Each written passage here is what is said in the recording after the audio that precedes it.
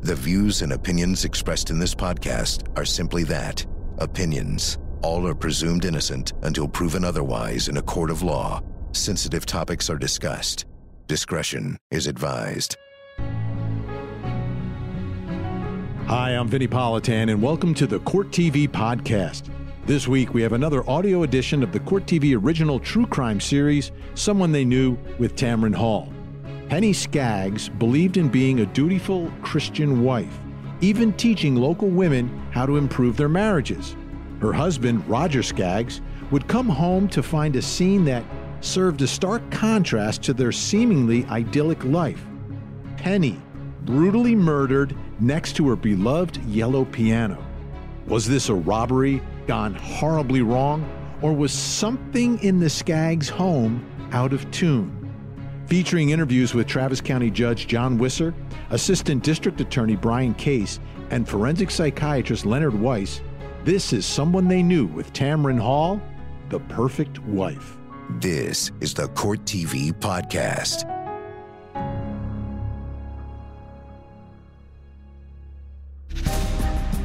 Penny was the type of woman who wanted the perfect marriage. He looks for his wife, doesn't see her anywhere, and then comes into the family room and sees Penny on the ground in a pool of blood by her piano. The police are thinking it's a robbery because there's some jewelry missing. There's a bunch of jewelry in, in the bathtub, and some things are kind of awry and jumbled. It was a killing and an obliteration of somebody.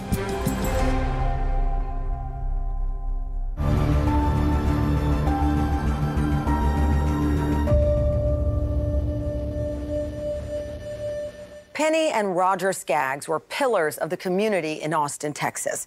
Roger was a very successful and respected businessman, and Penny was a devoted wife and mother. Both were leaders in their local church, and Penny even counseled women on how to improve their marriages. So it was a shock to everyone when on March 6, 1996, their picture perfect life together suddenly came to a violent and tragic end.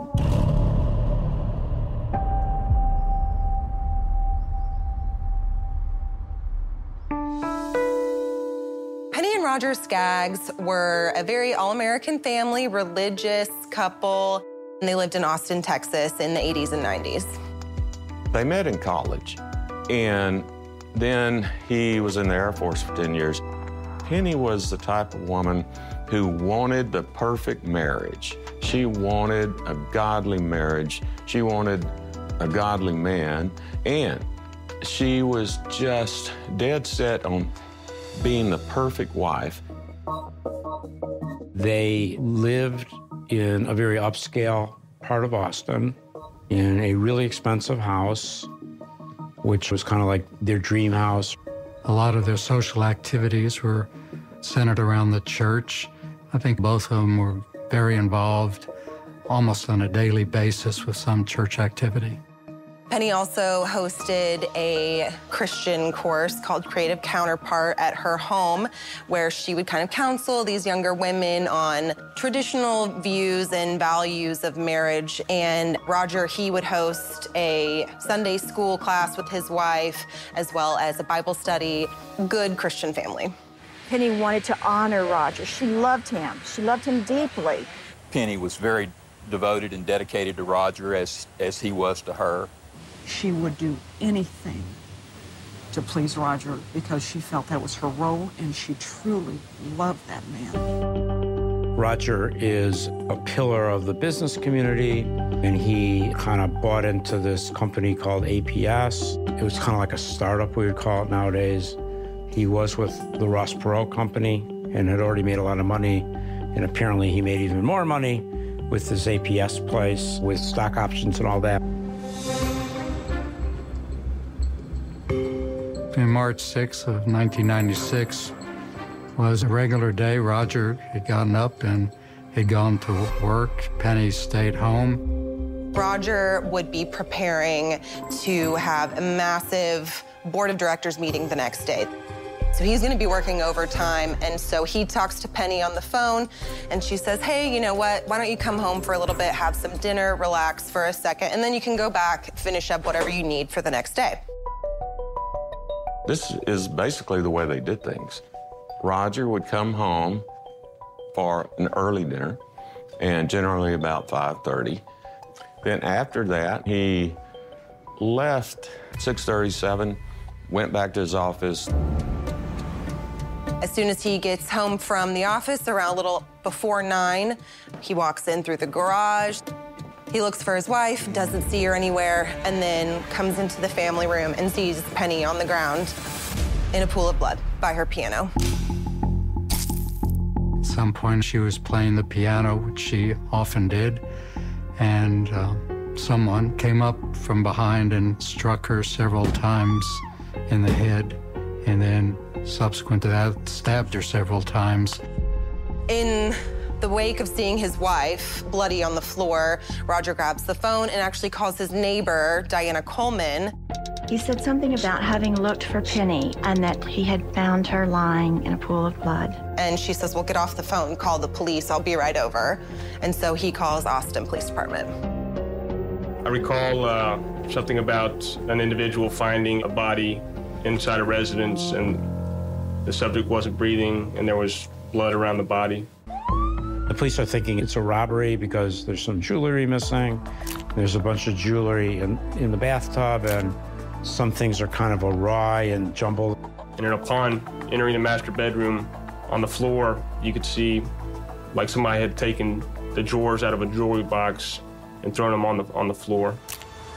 This was a neighborhood that I don't think there's ever been a murder in that neighborhood, either prior to or afterwards. All very expensive homes, all executives and professionals. There was a sense of terror initially.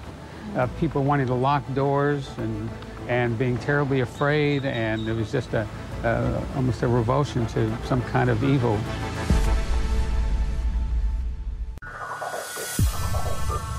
On the night of March 6, 1996, Austin businessman Roger Scaggs came home from work to find Penny, his wife of over 30 years, brutally murdered in their suburban home. The attack was so vicious that she was almost unrecognizable. Evidence at the scene suggested that Penny had been the victim of an apparent home invasion robbery gone wrong. Penny Scaggs did have uh, a number of injuries. He attacked her by coming up behind her.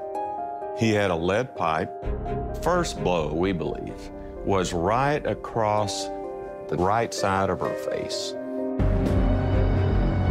She had seven blunt force injuries to her skull, um, head, and, and face. Then he uh, used a knife. He cut her throat with the knife. He stabbed her through and through uh, twice with the knife. It was a most shocking kind of attack with such vengeance. And I've been a prosecutor in a long time. I've seen some really bad stuff, but it was a killing and an obliteration of somebody.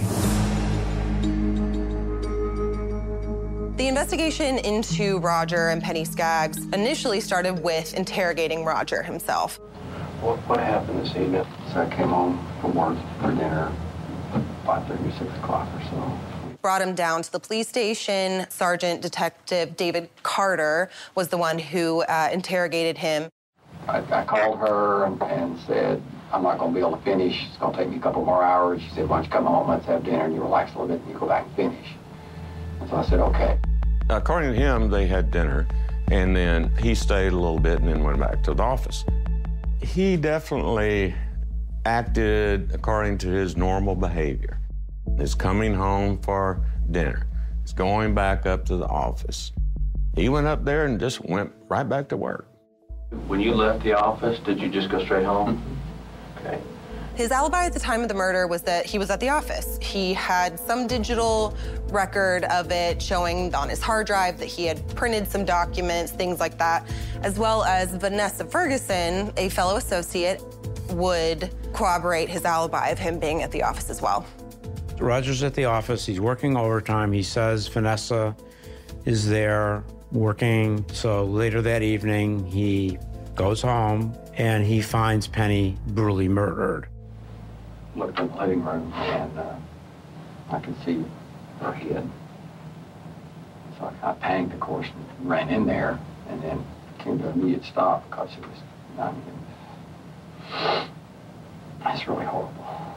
She just laying in blood, and her face was all bloated and bruised, and blood running out of her ear, or what running was there, and, and, you know, her head was in blood. Originally, he he is not a suspect, but for some reason, the police think that Roger now is suspicious. And what I need to understand is the relationship between you and your wife. Uh, in just a couple of weeks, we will have been married 35 years. And, we've done everything together all our life, both active in the church, and we've had a wonderful relationship. Roger didn't exactly act how you would expect a grieving husband to do. Instead of buying two plots at the funeral home, one for Penny and one for him, as when he passed away, he only bought one. And kind of implying, I don't want to be buried next to my wife of 35 years. He also didn't want to attend her burial initially. When Roger got there, he had this flamboyant red, white, and blue leather jacket with an eagle on the back of it. At the very least, you could say that's inappropriate, right? But it, it's just like I'm a free bird now. He's free. And he told a person who said, Well, you know, you shouldn't make any big decisions the first year after you lose a spouse. And he went, Well, I could be married two or three times in a year, just making a joke out of it. Within days, literally, of her death, he's telling people that he might get remarried. He shined his lights and they went over and panned the area, and he saw that there were two dumpsters down there. And near the bottom, there was a trash bag that was not like the other trash bags.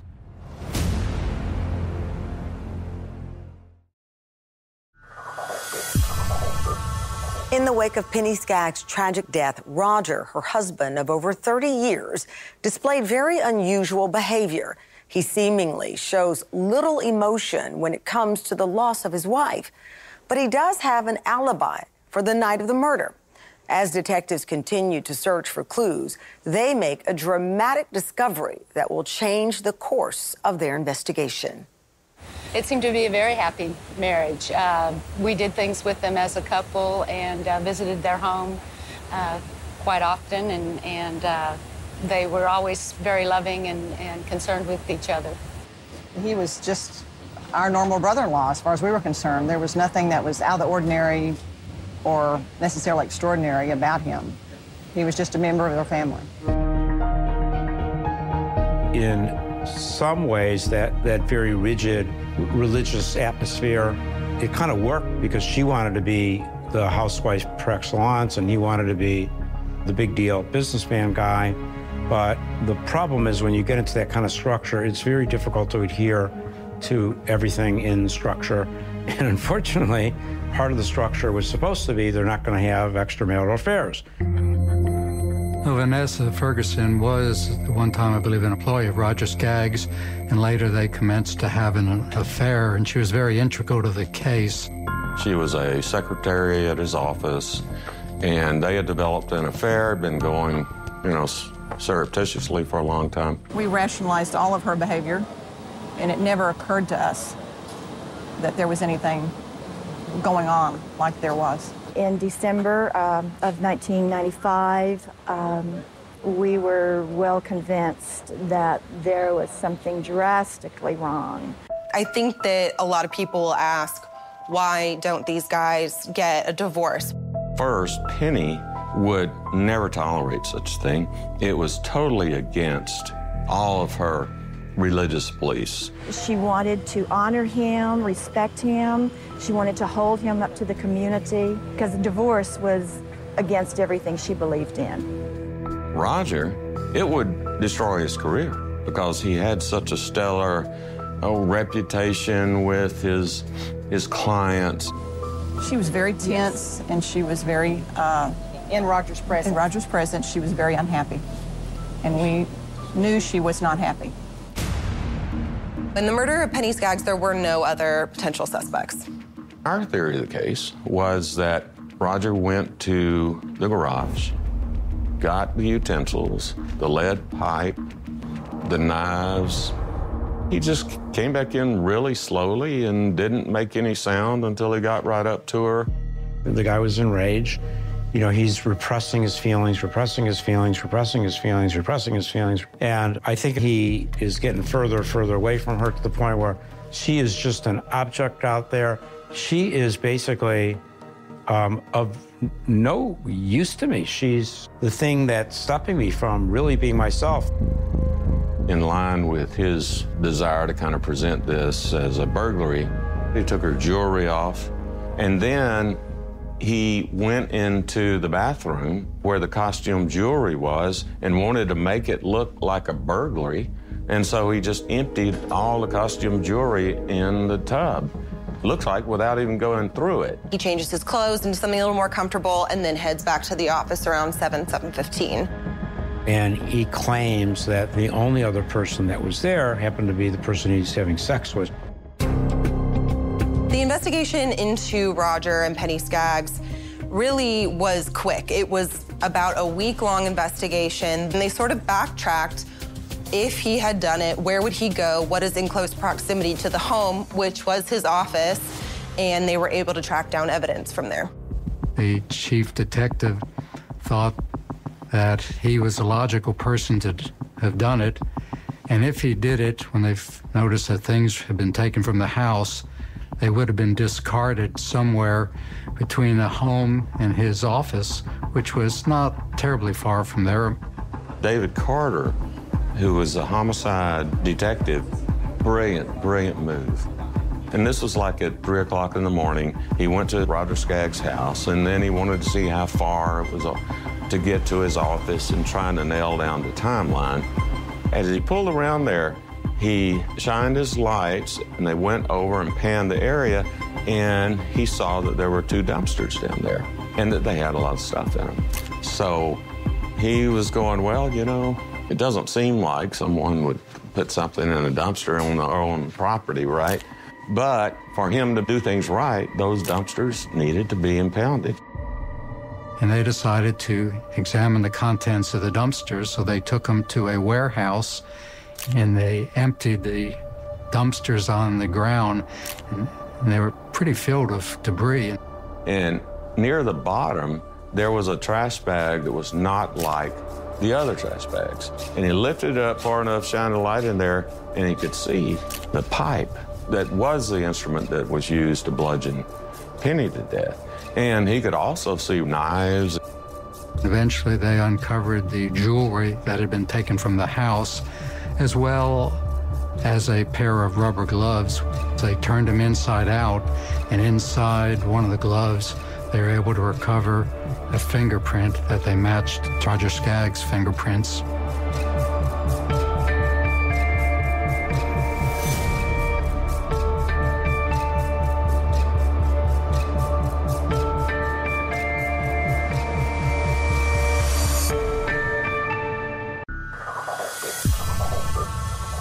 Roger Scaggs, the upstanding businessman and devout Christian, was charged with the brutal murder of his wife, Penny. During their investigation, detectives discovered that Roger had been leading a double life. He was having an affair with a coworker, attending swingers parties, and wanted to rid himself of Penny so that he could avoid a costly divorce.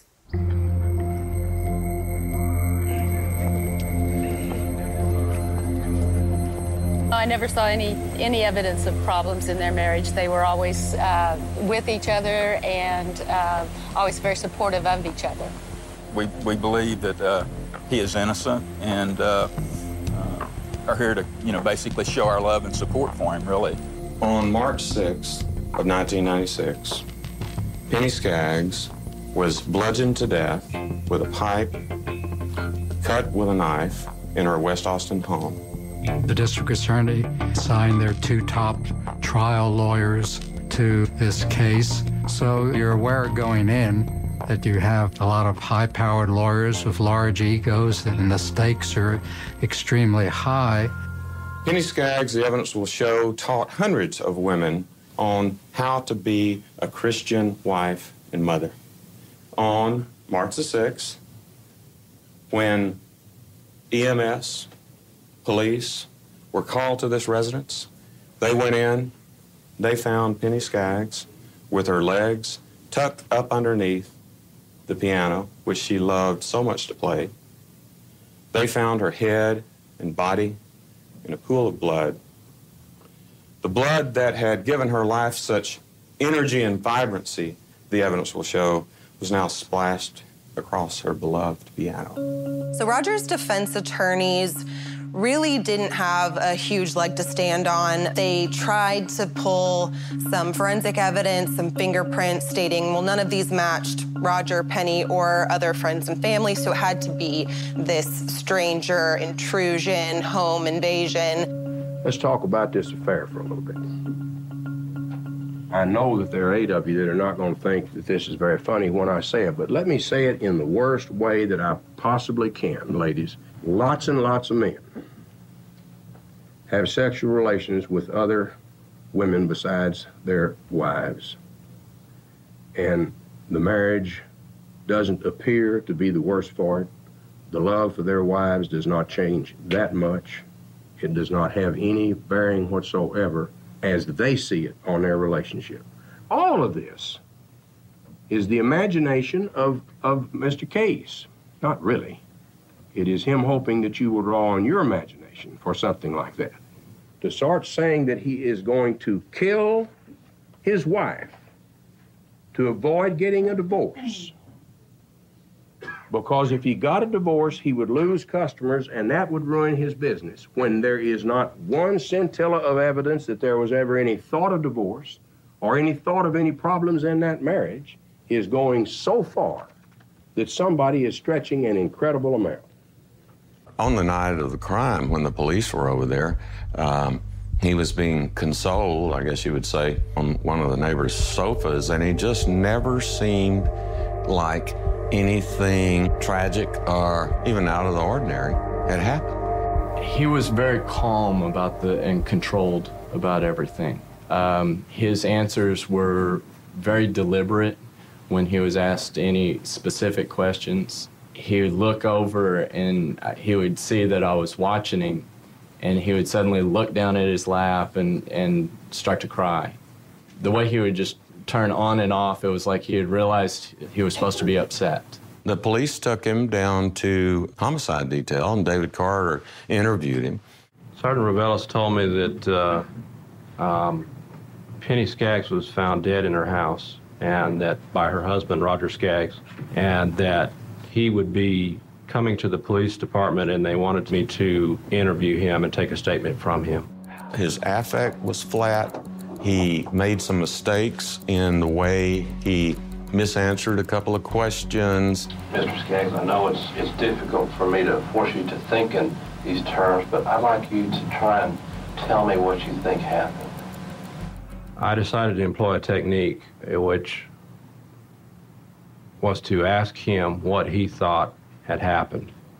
When you ask a person who has just discovered something traumatic, what do you think happened?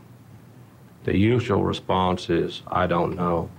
This was, in my opinion, perhaps the best investigation I've ever seen conducted by the Austin Police Department. I mean, it's conceivable somebody could have come to the door and she told to go away and then went around to the back, or it could have been, you know, somebody just wandering down the street. He speculated there's these people that would occasionally come to the area, transients or like magazine salesmen.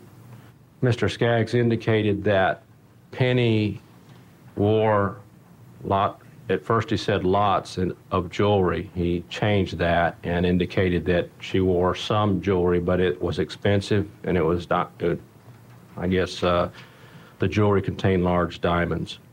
she wears a lot of, not a lot, but, well, she wears some pretty big diamond jewelry. She has a nice big wedding ring, a big center stone, and stones all around it, and a couple of necklaces with a lot of diamonds. And, you know, that could have, I mean, I don't know. I'm just trying to figure out. Mr. Scaggs speculated that one of these transients came to the front door.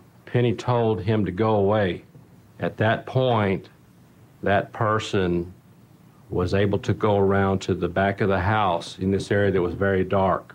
Mr. Scaggs then indicated that Penny was most likely playing the piano. Mr. Scaggs said that Penny was real focused and sitting there, and then he corrected himself, would have been sitting there. And then, you know, she was real focused and sitting there, and her back is kind of to that area, would be to that area when she does it. And that's the only thing. And in my experience, when a person starts going down this direction and places themselves in the first person, it's possible they are reliving an event. I have never seen Roger even raise his voice. He's probably one of the most non confrontational people I've ever known. Do you believe that he would be capable of carrying out such an act as the murder of his wife or the murder of anyone? No, I can't imagine that.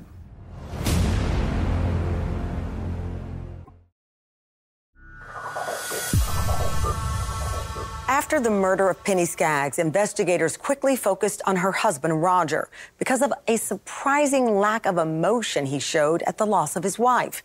That suspicion motivated investigators to seize and search the dumpsters behind his office building.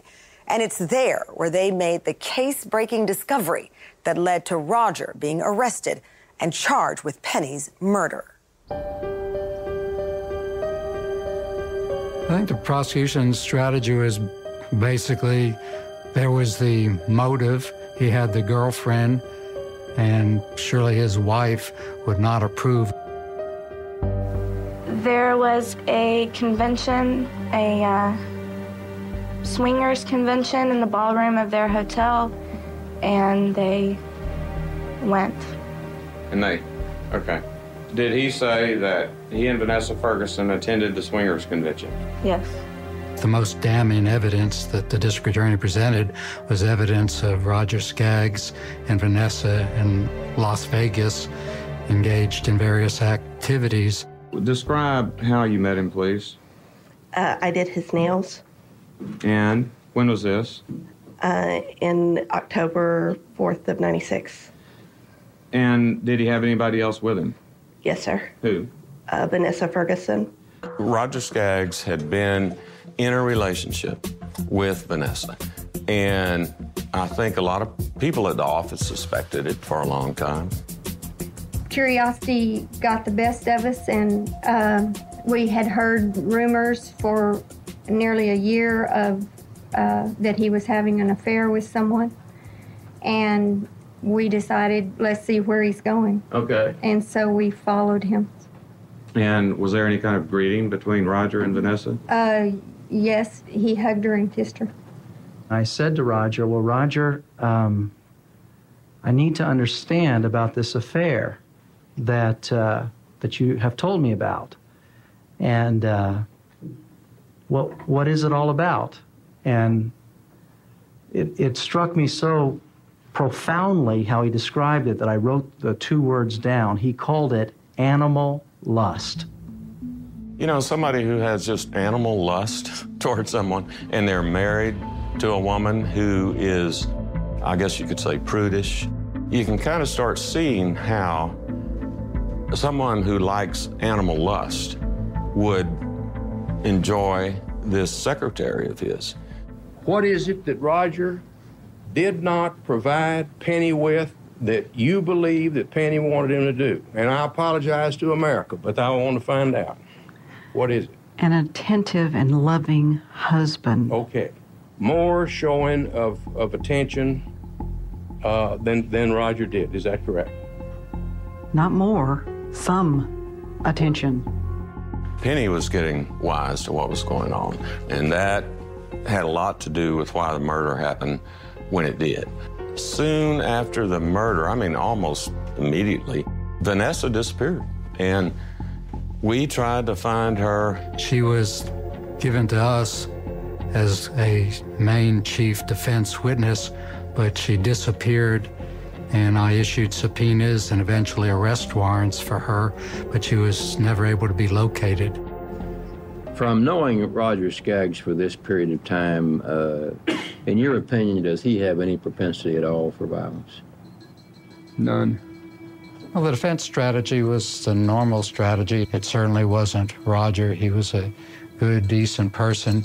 Yes, he was having a relationship with this Vanessa Ferguson, but in no way was he capable or would he have ever done such a gruesome act as this. And in knowing uh, Roger Scaggs for this period of time, have you formed an opinion as to whether he has any propensity for violence at all? I have never seen Roger even raise his voice, much less be violent. I had an opportunity to observe Roger in many, many different situations, including being under pressure. And uh, he's probably one of the most non confrontational people I've ever known. Uh, very laid back. This is a murder trial, as I think you know. And Roger's on trial uh, for the murder of his wife, Penny. I don't want to go into any of the evidence with you. I just want to ask you one question about this. From everything that you know about Roger Scaggs, do you believe that he would be capable of carrying out such an act as the murder of his wife or the murder of anyone? No, I can't imagine that. I mean, he'd be the last one that I would ever think would be capable of doing something like that. As witness. I wanted to understand how both of these people thought, and I had to felt like I had to understand it in the context of their daily lives and in the context of their church. Well, actually, I, I went over there first of all just to, to be a comfort to Roger and find out what happened. Uh, I think by that time I knew that Penny had been killed. I found a pastor, went to his uh, service two times just to try to understand what makes this church tick. From my experience, um, all people who love someone dearly want to talk and talk and talk about this person.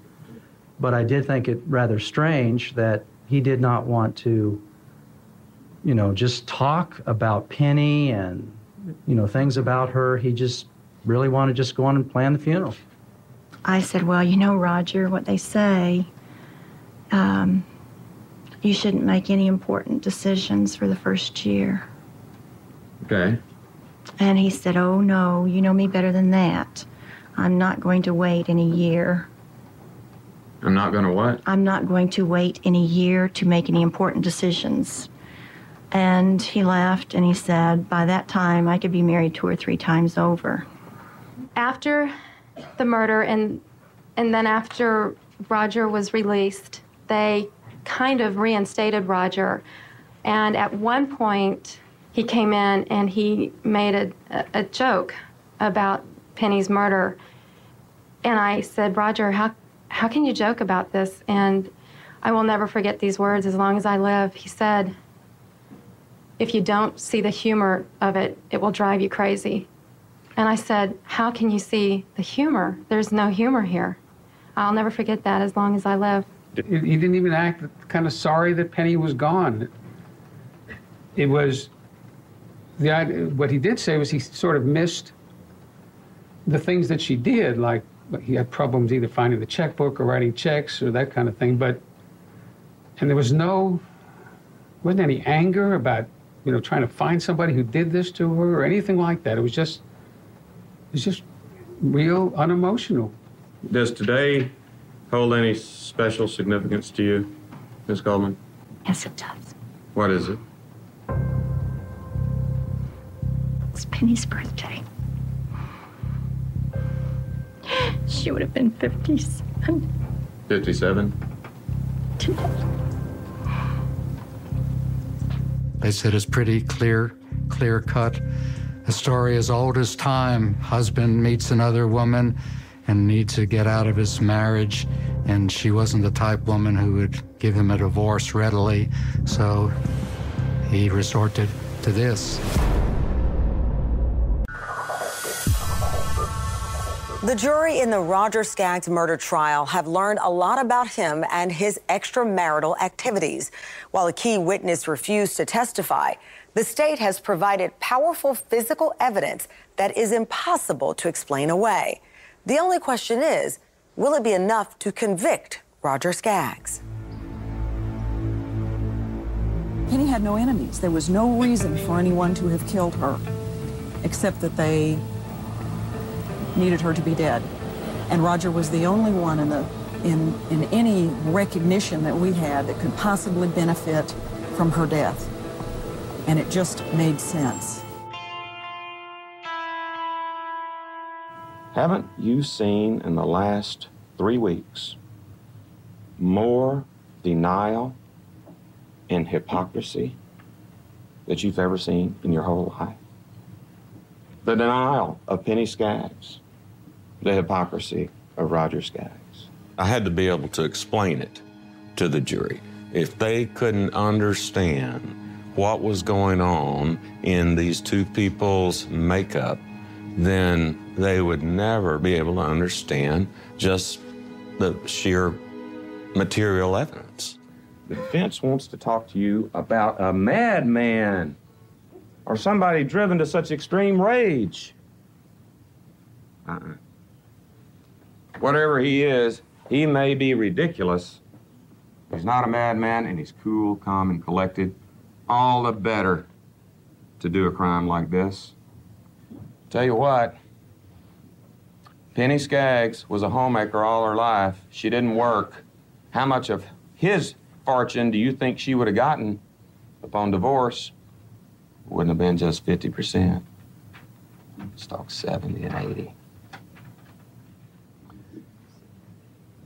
That's what she would have gotten. That's a lot of money that he can't use either on Vanessa Ferguson or whoever else.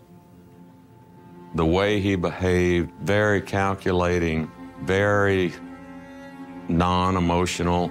The police just, from the very beginning, they knew, they said, something's just not right here. Cool, calm, and collected, all the better to plan this out, to have the gall to go do it, and then tell everybody the stories he did, and then have the gall to tell these sisters over here that he's gonna be remarried and move out of Austin and tell Penny's best friend he doesn't want to go to the burial. Oh, he's got a flair for the extravagant, all right. He's got a flair for the extravagant. And this murder was extravagant.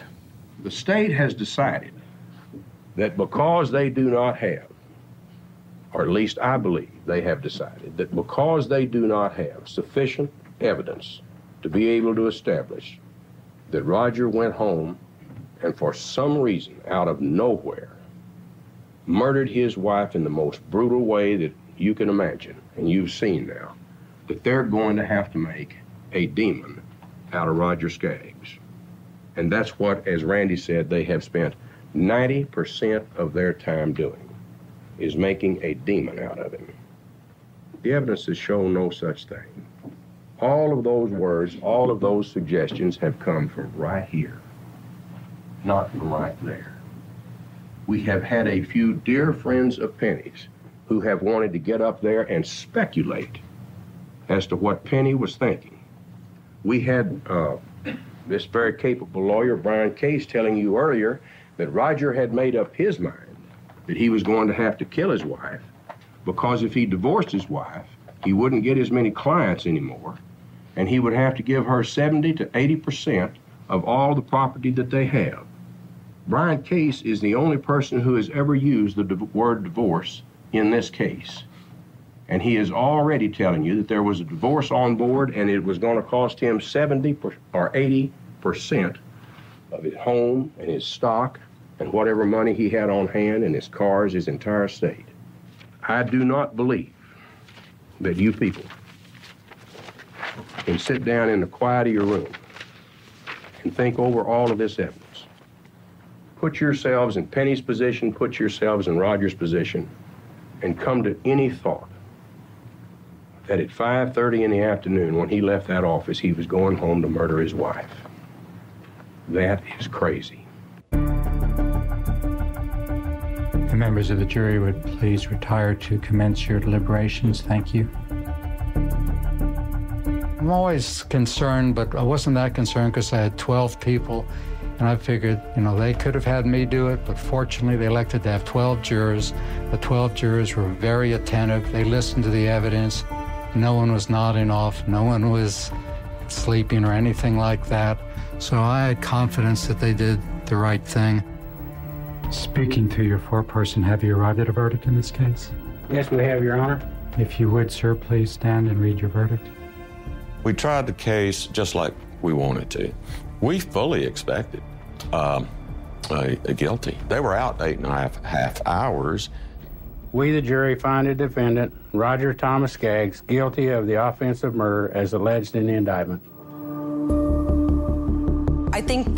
The verdict wasn't a surprise simply because of the evidence. I think that the simplest answer was going to be Roger. He had motive, and his timeline didn't work out. His alibi didn't match up. Despite him being a wealthy white man, luck was not on his side. I am not satisfied that this man killed Penny Scaggs, and that is the truth as I stand here. I am not satisfied of that. I've thought about it as much as anybody, and uh, it doesn't make sense. Doesn't make sense that he came home at his wife's request, ate supper, and carried that out before he went back and worked another couple hours. That never has made sense to me. We are uh, pleased with the verdict. We felt like justice and truth would be honored here, and they were today. Sense of relief, but it's not over. We have another phase of this trial, and uh, we're preparing ourselves for that. After deliberating, the jurors came back and unanimously found Roger Scaggs guilty, and then we proceeded to have the second portion of the trial where the juries determined the punishment to be assessed Mr. Scaggs. In addition, the juries recommend the defendant receive a sentence of 32 years confinement in the institutional division and a fine of $10,000. The sentence was 32 years. I mean, we asked for a life sentence, right? And uh, we were at first quite shocked that he only got 32 years. But uh, my recollection is that 32 years was the length of their marriage or the length of time that Roger and Penny had known each other. I've tried quite a few murder cases, and that's the only 32 year verdict I've ever seen.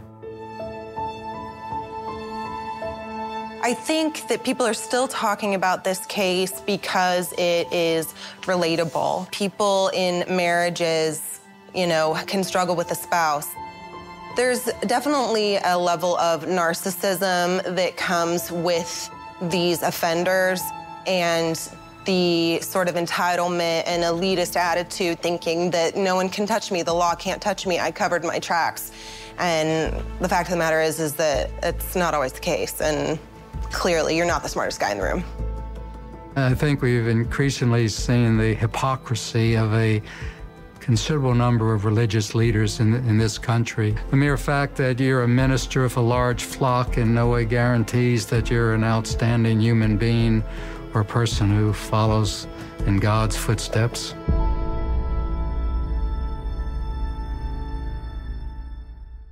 Roger Scaggs is currently serving out his sentence in the Terrell unit of the Texas Department of Corrections.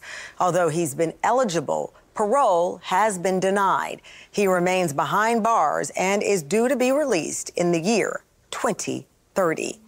I'm Tamron Hall. Thank you for watching Someone They Knew.